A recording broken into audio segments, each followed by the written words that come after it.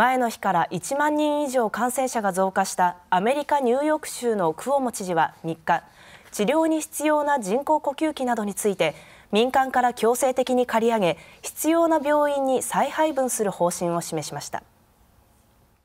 So I'm going to sign an executive order that says the state can take ventilators and PPE from institutions that don't need them now and redeploy them to other parts of the state and other hospitals that do need them. クオモ知事はこう述べた上で借り上げた物資は後に返却するか購入資金を保証するとしていますニューヨーク州では3日までに感染者数が10万人を超えていてクオモ知事は2日の会見で備蓄する人工呼吸器が8日にも底をつく見通しを示していました一方ニューヨーク州から人工呼吸器の支援要請を受けたトランプ大統領は十分提供したと考えていると述べ支援に難色を示しました。